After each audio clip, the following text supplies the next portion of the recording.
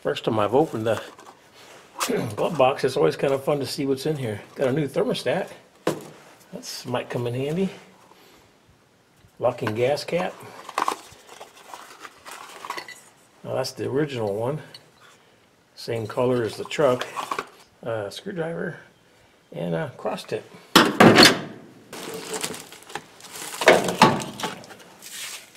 Huh, Never seen a file with a corn cob handle on it before.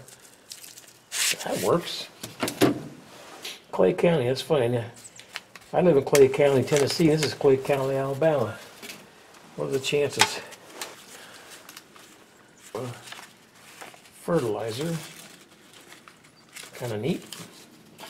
Something else I'll stick. Another smaller screwdriver. And let's see what we got. I guess that's about it in there. That's kind of fun. The box looks like it's a little warped, but it's in good shape. We'll be able to save that. I'll clean it out when I get to the rest of the truck. So I got is keep all the receipts now in the plastic bag so they won't deteriorate any further unless the mice gets to them. See if I can get it right here. Terre Haute Brewing Company, made in USA. The beer with a million dollar flavor. it's kind of cool. A glove box where I found them. And preserve them. They can do what they want. I'm probably going a little too far, but this is what I would do if I owned the truck. I'd want the history preserved. Uh, I think that's part of why, obviously, he's keeping it from his great grandfather, we found out. So that'll keep that looking nice. Wow, with the corn cob handle. That is pretty cool. That's been cleaned up and oiled. Bottle openers. Receipts. And the screwdrivers. And those will stay preserved nicely in there. I think I do things like that because it motivates me. Keep going. I'll put you over there. I got this ready to come down. Just taking the screws out, stuff's falling out, so I didn't want to be underneath it. But I think it's gonna be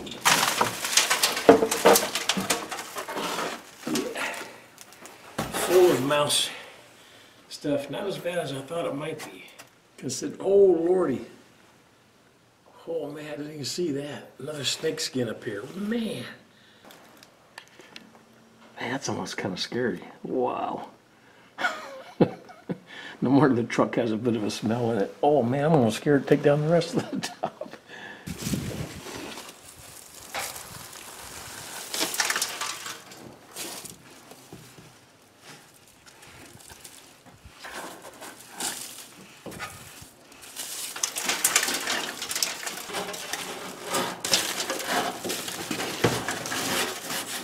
Yep,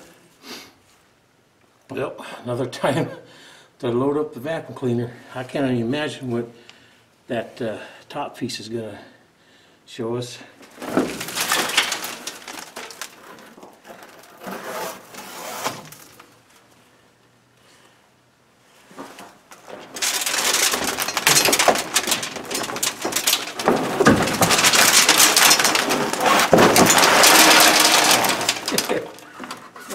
What a mess. In this truck, I should have started from the top down. I'm gonna vacuum all over for the third time. All right, I got uh, most of it all cleaned up, vacuumed. I'm gonna get a rag, soap and water on a warmer day and get this uh, cleaned further.